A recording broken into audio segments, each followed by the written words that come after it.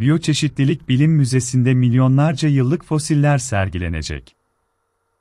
Erzurum'da, Türkiye'nin dört bir yanından 60 yılda toplanan 250 bin birey ile 10 bin türden oluşan koleksiyonun yer aldığı ve bilimsel araştırmaların yapıldığı Biyoçeşitlilik Bilim Müzesi, açılış için gün sayıyor.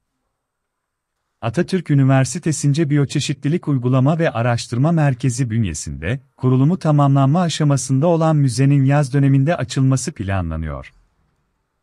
Müzede, Doğu Anadolu başta olmak üzere Türkiye'nin dört bir yanından 60 yılda toplanan 250 bin birey, 10 bin türden oluşan koleksiyon özenle muhafaza ediliyor.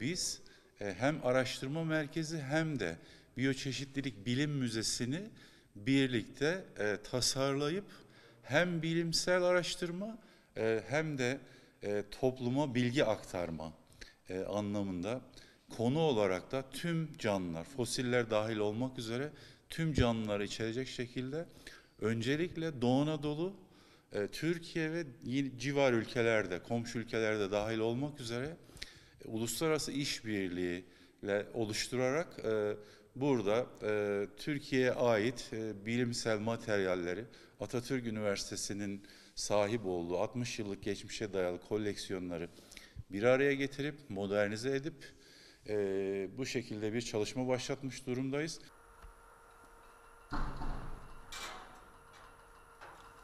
Aslında e, açılmaya da yakınız. E, yani müzemiz şu anda epeyce bir mesafe almış durumda. E, ve içerisinde 250 bini aşkın bireyden oluşan, çoğunluğu böcek ve bitkilerden oluşan bilimsel koleksiyonumuz var. Tür sayısı olarak da 10 binden biraz daha fazla. Bu e, tabii ki ciddi bir rakam. E, Türkiye'nin biyoçeşitlilik, fauna ve flora elemanlarını bir araya getirip hem araştırıcılara hizmet sunmak hem de e, işte ana sınıfından başlayarak tüm toplumun her kademesinden insanın bilgi alabileceği, bilgi paylaşabileceği eğitim ortamı. E, günümüzde en e, önemli e, nokta, en önemli konu türlerin korunması. E, ve birçoğu henüz keşfedilmeden nesli tükenmekte. Henüz e, ülkesel boyutta koleksiyonun bulunduğu bir yerde yok. Burası e, belki de ilk olacak bu anlamda. Çünkü sahip olduğu koleksiyon küçümsenemeyecek düzeyde.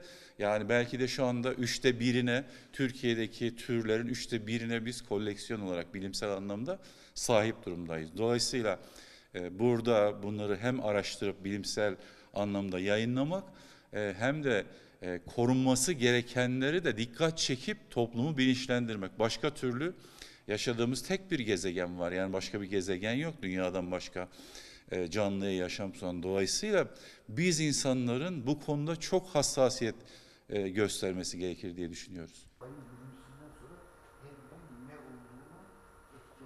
Türkiye'de belki de en müstesna, e, daha doğrusu Avrupa'nın birçok müzesinden de ileri seviyede bir böcek sergimiz var.